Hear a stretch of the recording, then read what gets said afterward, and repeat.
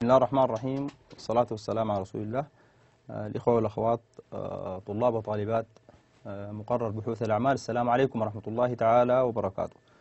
اليوم إن شاء الله حتكلم عن المحاضرة الثالثة وحتكلم عن الأنواع مناهج البحث. ودي طبعا موجودة بتفصيل بتفصيل أكثر في الكتاب ال- أو في المقا... ال- المرجع الأساسي من صفحة 49 إلى صفحة آه، 68 فحنحاول بإذن الله تعالى آه، نشرح المقصود آه، بمفهوم المنهج في إطار ال- اللي هو بحوث الأعمال أو في إطار البحث بصورة عامة ونحاول نميز بين آه، المنهج الوصفي والبحوث ال- ال- الوصفية والمنهج التجريبي. بالتركيز برضو على شنو؟ المزايا والانتقادات التي وجهت للمنهجين. طيب بصورة بسيطة جدا المنهج وإحنا المرة فاتت ذكرنا في المحاضرة السابقة قلنا المش- المشكلات الإدارية أو جميع مشكلات الإدارة ينبغي للمدراء عندما يعني يقرروا حلها لابد أنه يتبعوا المنهج العلمي. والمنهج العلمي يقتضي إنه إنك انت بت- اول اللي هو منهج البحث العلمي يقتضي إنك تتبع الخطوات ال- الطريق ال- المسلك اللي بيخليك تحقق آه، ت- تحل المشكلة لكن بالطريقة شنو؟ العلمية، فبالتالي إحنا مثلا قلنا مثال ضربنا مثال إنه إذا كان في شركة من الشركات عندها مشكلة والمشكلة هي مثلا زيادة في نسب القياب، معدل أعلى من من الإندستري، يعني مثلا إذا كان تكلمنا عن صناعة اللي هي إندستري مثلا صناعة ال- الاتصالات مثلا شركات الاتصال، الافرج اللي هو متوسط الغياب بافتراض إنه كان مثلا 10% وجينا في شركة من الشركات وجدناه 15% فبنقدر نجي نقول هذه مشكلة حقيقية ليه؟ ليش هي مشكلة؟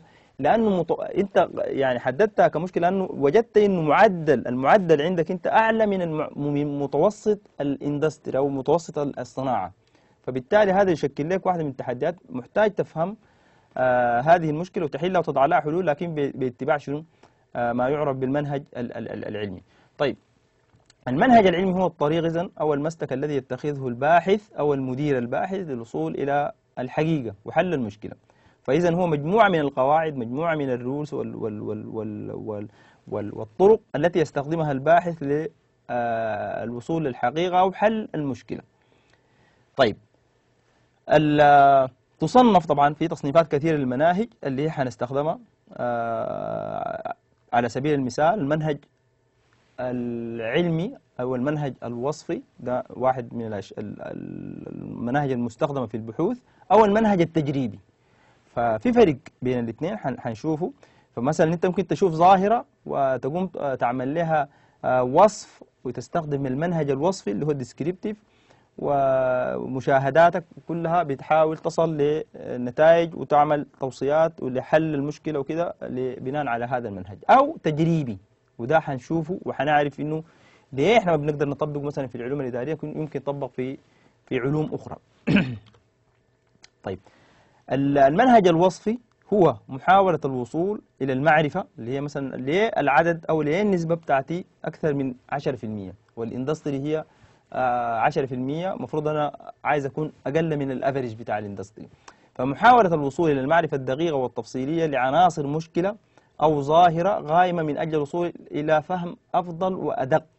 فإحنا بنجي ندرس مجموعة من ال factors الأسباب التي أدت إلى هذه المشكلة ونضع مج- مجموعة من الافتراضات formulation ونرجع نشوف international مثلا ال- ال- المراجع وال- وال- والبحوث السابقة في هذا المجال. أوضحت شنو يعني المش... ال- ال- ال- المشكلة كيف عرفوها وما هي الأسباب وبالتالي نشكل نموذج علمي نقول مثلا إحنا بنفترض إنه هذه الثلاث عناصر هي الأسباب الرئيسية لهذه المشكلة. نجي نضع الميثودولوجيز اللي هي طريقتنا عشان نطبق ونتأكد من إنه هل هذه الافتراضات صحيحة أو أو غير صحيحة. يعني هل مثلا آه، الإدارة أو الإشراف السيء عنده علاقة بال- بالقياب؟ هل مثلا كذا حسب ما أنت افترضت. فاذا هو منهج يؤدي في النهاية لل أو يساعد الباحث في إنه يصل للحل أو للمشكلة أو الظاهرة ويفهمها فهم أدق وأكثر تفصيل. بيهدف هذا ال- ال- ال- المنهج إلى توفير البيانات طبعا بتجمع معلومات وداتا والحقائق عن المشكلة اللي هي عايزين ندرسها وي- ويساعد في تفسيره وبالتالي هو آه، يمكن يكون مختلف عن ما يعرف بالمنهج التاريخي الذي فقط يسرد الأحداث لأنه حاجة حصلت في وقت محدد في سنة محددة ويتم سردها. وده آه، عكس المنهج الوصفي اللي الآن بي- بيحاول يعني يصف لك في شنو؟ في حالة وفي cases هو أمامك. طيب.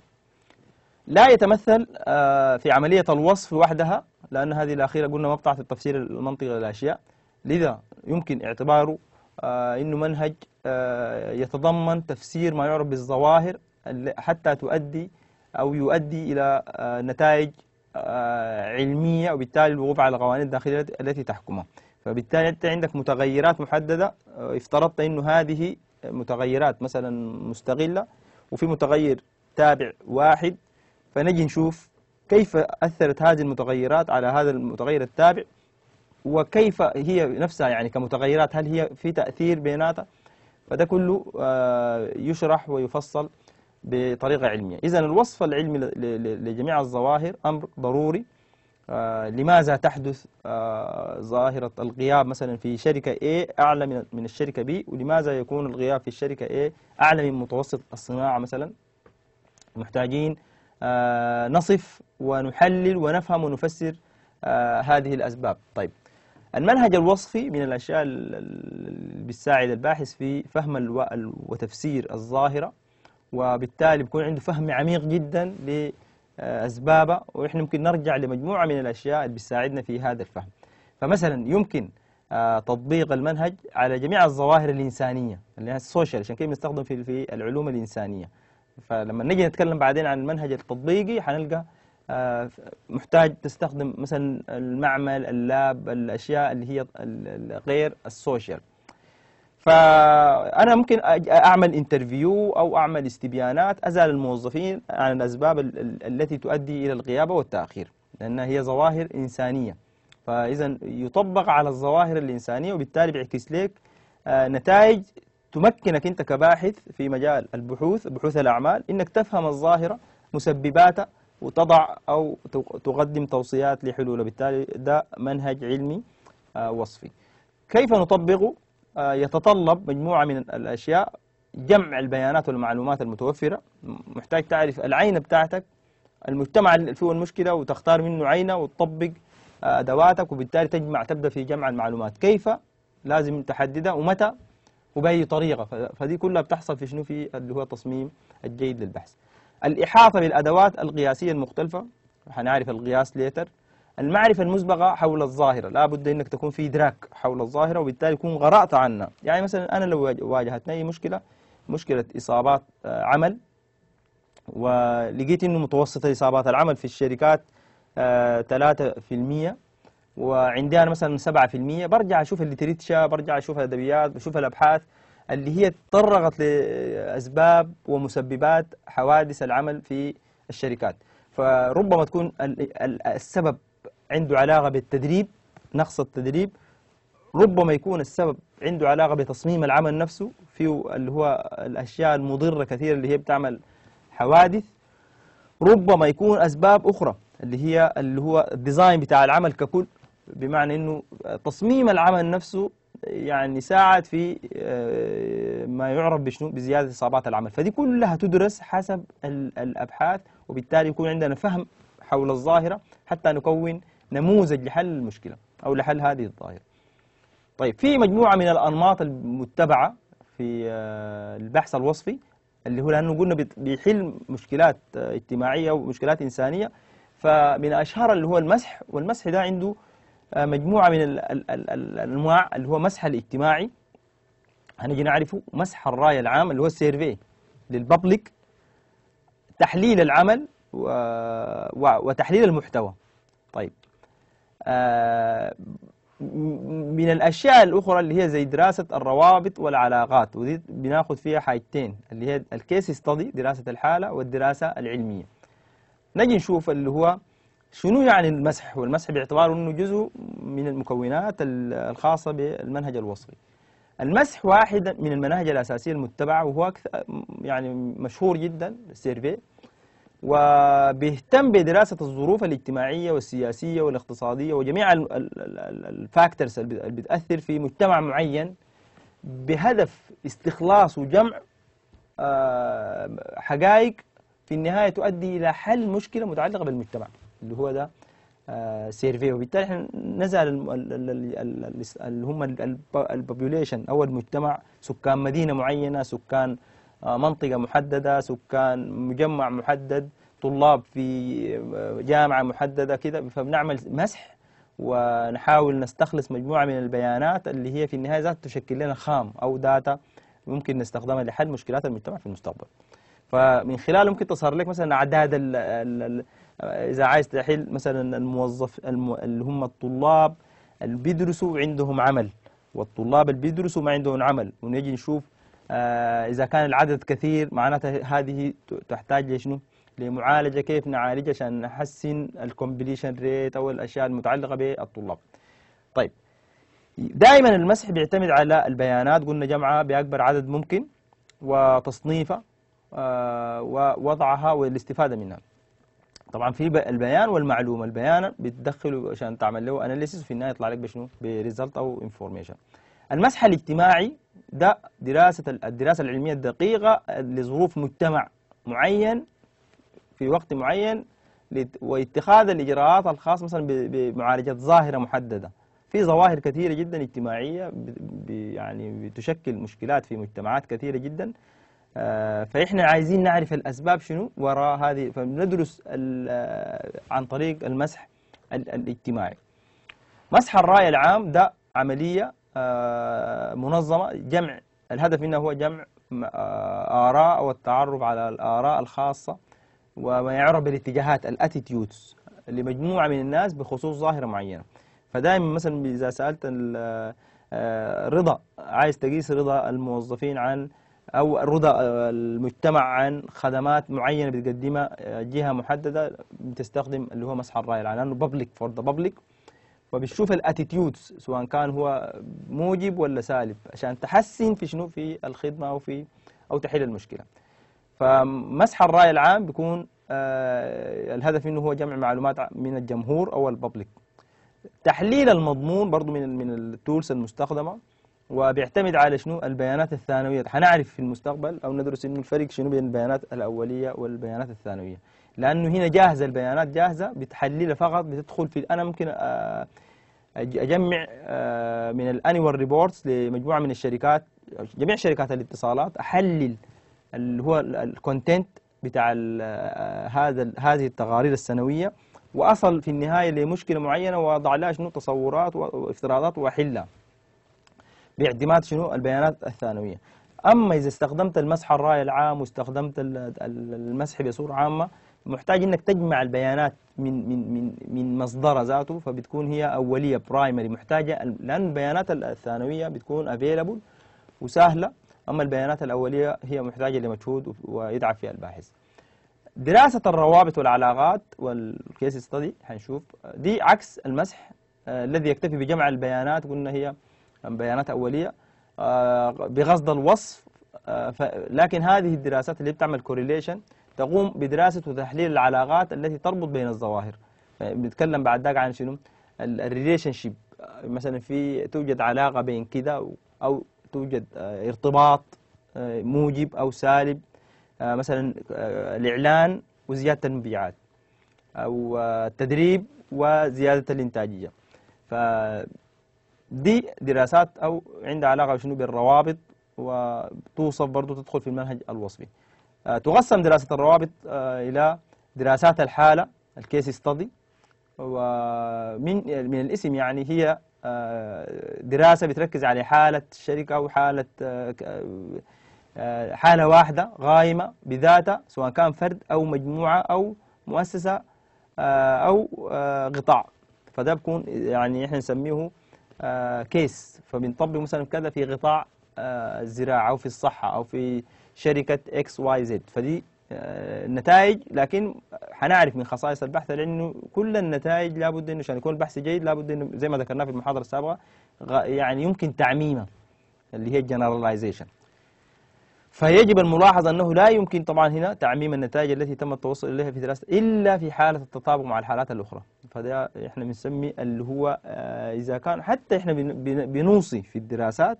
الحالة إنه limitation من نقاط الضعف إنه هذه الدراسة تمت في شركة كذا كذا موجودة في لكن يمكن أن تكون في نتائج مختلفة لاختلاف البيئة ما أتكلم عن شركة في المملكة العربية السعودية وشركة في بلد آخر ال culture وال environment وكل المتغيرات مختلفة ربما تكون إذا تمت دراسة بنفس العنوان بنفس ال hypothesis في في مكان ثاني ربما تؤدي أو تظهر نتائج مختلفة لاختلاف هذه العوامل. آه، المنهج العلمي والدراسات العلمية طبعا مهمة جدا بالنسبة للمدراء والدراسات العلمية هي الأسلوب أو تعتبر الأسلوب آه، المتميز في إجراء الدراسات يعني لأنها بتتبع المنهج العلمي. فتتعدى جمع البيانات حول الظاهرة لتمتد إلى البحث عن أسباب الظاهرة وإجراء المقارنات بين الظواهر زي اللي إحنا بنعملها في البحوث العلمية اللي هي آه، ذات الطابع التجريبي. فالمنهج التجريبي كما واحد ك... إذا جينا نقارنه بالمنهج الوصفي بنقول هو أسلوب آه، بحثي تتمثل فيه معالم الطريقة العلمية بالشكل الصحيح. لأنك أنت هنا بتجي تستخدم التجربة والتجربة عندها علاقة بشنو بال lab فبتقوم أو هذا المنهج يقوم على استخدام التجربة في قياس متغيرات الظاهرة. فقبل ما تديه آه، مثلا الدواء كانت درجة الحرارة كم؟ وبعد ما اديته الدواء كان درجة الحرارة كم؟ وعندك group ما أخذ الدواء و group أخذ الدواء ال- ال- ال- التغيرات ال- يعني ده بيخضع لمجموعة من المقارنات العلمية والقياسات المختلفة حتى تصهر إنه آه، يعني الديفرنسز شكلها كيف أو الاختلافات. يتم التحكم بجميع المتغيرات التي تؤثر على ظاهرة معينة أو واقعة معينة بأنك تزيد وتنقص وبالتالي إحنا نشوف النتيجة شنو. يعني مثلا آه، إذا أنت أعطيت آه، مريض دواء محدد والمريض الآخر نفس ما أعطيته يعني أنت هنا بتحاول تعمل كنترول على المتغير وتجي تقيس ظاهرة معينة مثلا درجة الحرارة في في الاثنين. في ارتفاع وفي استقرار وهنا ما في استقرار نقدر نعرف ون- ونجمع آه، ونتحكم في المتغيرات اللي هي اللي هي بنسميها المتغيرات ال- الم- المستغلة حتى نتأكد من أنه ال- المتغيرات الأخرى عندها علاقة بهذه ال- ال- ال- ال- التجارب. ففي متغير يسموه المتغير التجريبي والهدف منه هو قياس آه، الأثر على الظاهرة نفسها. فنحن نقول مثلا المتغير التجريبي بتاعنا هو وضع محلول كذا بمواصفات معينة على عشان نجي نقيسه ويكون في حاجة ثانية ما فيها. فنجي نقارن ونجي نطلع result ونتائج ونقول هذه النتائج. إنه إضافة المحلول ده بالمواصفات كده يؤدي لنتيجة كده زي اللي هي التجارب العلمية الخطأ اللي هي ظهرت لنا آه، في الكيمياء وفي الفيزياء وكده H 2 أو مثلا آه، اثنين آه، من ال H مع واحدة من الأكسجين في النهاية بيطلع لنا شنو؟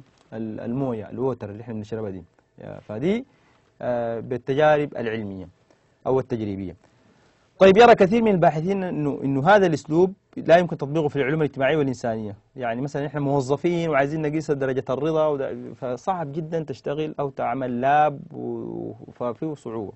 لكن آه، يرى بعضهم أنه رغم صعوبته في تطبيقه في المجالات اللي هي الإنسانية آه، لكن يمكن استخدامه، لكن محتاج طبعا لناس عندهم خبرة ودراية ومعرفة باستخدامه، لأن إحنا أغلب المتد... اللي بيتدربوا على على, على هذه الأبحاث هم دائما بيجوا من الكليات ال- العلمية، أنت محتاج يكون عندك مدراء وعندك ناس آه، اللي هم مساعدين موجودين آه، لهؤلاء المدراء. عندهم علاقة وخلفية بكيفية استخدام وتطبيق هذه لأنه فيها جزء علمي وتطبيقي محتاج إنك تطبقه بالطريقة الصحيحة. فلا بد من الخلفية العلمية اللي بتمكنك أنت معرفيا كيف تستخدم هذه الأشياء. طيب. خطواته اللي يمكن برضو من عشان نستفيد أكثر ممكن ترجع للكتاب صفحة آه، 135 آه، في مجموعة من الخطوات عشان تتبع المنهج العلمي أو المنهج التجريبي. الخطوة الأولى هي صياغة مشكلة البحث وتحديد أبعاده. والصياغة هنا لا بد من التركيز إنه لا بد انه يتم صياغتها بطريقة شنو؟ آه، آه، آه، عرفت المشكلة وص- وصيغتها وحددتها وأصبحت أبعادها محددة عشان ما تكون هي يعني ما عايزين نطلع عشان يكلفنا آه، بحثنا شيء كثير. نصيغ الفرضيات اللي هي ال hypothesis إنه مثلا إضافة كذا إلى مادة كذا يؤدي إلى كافتراض لكن لسه ما جربناه. فتصاغ مجموعة من الفرضيات ال hypothesis إعادة أو إعداد تصميم آه، تجريبي يحتوي على العلاقات والمتغيرات. المراد استخدامها نعمل testing آه، تحديد العوامل المستقلة التي ينوي الباحث إخضاعها للتجربة. فبعد ذاك إحنا طبعا ده فيه جزء آه، بتدخل فيه حتى الإيثيكال اللي هي الجوانب الأخلاقية لأنه تشوف عينة اللي هي بعض التجارب الم- المنهج التجريبي بيجيب مثلا آه، إذا عايز أطبق دواء لكن ما بمشي للإنسان مباشرة بجيب الأشياء مثلا الحيوانات اللي عندها خصائص الإنسان نفسه. ولكن في حكم أخلاقي وفي بتستخدمه بطريقة أخلاقية. حتى لما تجي تنشر بعدين بتكتب إنك أنت آه، ما استخدمت طرق مضرة ما استخدمت طرق فيها آه، يعني أضرت بال environment ولا أضرت بالحيوان وكذا فمثلا النماذج ال- التجارب اللي بتجرى على الف- على الفيران أو التجارب اللي بتجرى على ال- اللي هي ال- الحيوانات اللي عندها خصائص زي الفيران عندها اللي هي جينات مشابهة. فإذا أدى مفعول بعد ذاك نيجي نعمل له شنو؟ testing في أرض الواقع. تحديد وسائل التي يتم من خلالها أو آه، يمكن من خلالها قياس نتائج التجربة والتاكد من صحتها. نتأكد إن دي تجربة علمية لازم نتأكد إنه هذه التجربة صحيحة. وبالتالي لابد يكون في وسائل قياس يعني ما فيها ما فيها يعني شك. إجراء الاختبارات الأولية وفي الغرب مثلا في بعض يجوا متطوعين. فناس كده يتطوعوا عشان نختبر عليهم مثلا دواء محدد مصل محدد ونتأكد آه، وطبعا ما بتعمل إنت بدون موافقتهم. لا بد يكونوا هم آه، يجوا ويوقعوا على انه هم طوعا آه، يخضعوا لهذا البرنامج بهدف خدمة الإنسانية وخدمة البحث العلمي وكده. لكن ما بتمشي تختار لك مرضى موجودين بدون بدون عل- علمهم أو كذا وتطبق فيهم الأشياء دي. يعني تدخل كلها في ال unethical براكتس تحديد آه، أو إجراء الاختبارات الأولية وتحديد مكان وموعد وزمان إجراء التجربة الفعلية التأكد من مدى الثقة بالنتائج التي تم التوصل إليها. عشان كده في الأدوية لما تدخل في الدواء تفتح ال- ال- الروشته الموجودة في داخل الدواء بتجد الأشياء دي مكتوبة. إنه هذا الدواء تم كده اختباره في معامل مثلا قلنا كذا وأثبت نسبة نجاح ب- بالنسب. حتى إنه يقول لك الحالات التي آه، اظهرت عدم الاستجابة في مرحلة التجربة كان نسبتها كذا في المية. كل الأشياء دي محددة بالتفصيل يعني لو مشيتوا شفتوا آه، من ال- ال- الداخل ال- ال- ال- ال- اللي هو الدواء صندوق الدواء طلعت لأي دواء بتلقى ديتيلز مكتوبة بتوضح اللي هي النتائج ال- والثقة وكم في المية اظهروا نتائج غير النتائج المرغوبة وكم في المية اظهروا النتائج المرغوبة فدي بتبين لي إنه أنا يعني يعني أقتنع قناعة تامة وتكون عندي يعني معدل أو مستوى ثقة كبير جدا بنتائج البحث المطلوب خاصة في في في الم- في المنهج التجريبي. عكسه تماما شنو؟ المنهج ال- اللي هو ال- الوصفي لأنه قلنا ذاك بيخضع أو بيتعامل مع ما يسمى بشنو؟ الحالات الإنسانية والحالات الاجتماعية. يعني أنا مثلا إذا عايز أجرب تجربة زي دي آه، لأن دي بتكلفني وفي نفس الوقت ربما تؤدي إلى فقدان آه، يعني سواء كان إنسان أو حيوان لأنك أنت حتعملها عكس السيرفي ال- المسح اللي أنا بستخدمه بزال ال- الموظفين وأجمع واجي اعمل به شنو تحسينات وفي النهاية أطلع بدراسة أقول مثلا آه، عملنا استبيان نشرنا مثلا سألنا أكثر من 3000 موظف في شركة من الشركات وعن كذا كذا كذا وكانت الإجابات كده ولقينا آه، وصلنا للنتائج الآتية. فتصل للنتائج. يجي واحد باحث غيرك آه، يجي يقول مثلا في علاقة لكن العلاقة ما قوية أنت وجدتها قوية الكيس مختلف وهكذا. ده يحصل له تعميم المنهج التجريبي بصورة عامة جدا ويظل موجود ويبقى مسجل آه، بأنه ده آه، يعني زي البحوث العلمية اللي هي الإنسانية نفس الشيء لكن ده لأنه فيه بيدخل إنكم بعدين يعني ده الفرق إنه هذه البحوث التجريبية في النهاية دائما يتم تمويلها من قبل جهات تستفيد منها وبالتالي في جهات ك- كبيرة جدا بتحاول تبحث عن الباحثين أو جهات ال- البحث العلمي في في في في الشركات. تدعمهم آه، لإجراء مجموعة من التجارب. إذا نجحت التجربة أو نجح الدواء أو نجح كده يكون في عائد مادي كبير جدا. وزي اللي بنشوفه الآن في البيزنس أو دنيا آه، ما يسمى بالعلاج وإحنا العلاج هو لعلاج مشكلة. المشكلة مشكلة علمية لكنها تطبيقية لأنه بي- بتطلع دواء وتعالج به مشكلة مرض محدد. إحنا في الإدارة بنتكلم عن ظواهر غياب تأخير آه، إصابات عمل عدم رضا عدم كذا عدم اهتمام هذه كلها ظواهر محتاجين نفهمها ونضع لها شنو؟ hypothesis ونتبع فيها المنهج العلمي واللي هو السيرفي وغير اللي بتناسبها اللي هي دي, دي الأشياء التي تناسب هذا النوع من عشان كده كلها تصنف على انها هي دراسات آه، أو أبحاث وصفية. ده تقريبا كل ال- ال- ال- اللي حاولت أو- اوصله أو أشرحه في هذه المحاضرة. وأتمنى لكم التوفيق في مقبل الأيام وأراكم في المحاضرة القادمة بإذن الله. السلام عليكم ورحمة الله تعالى وبركاته.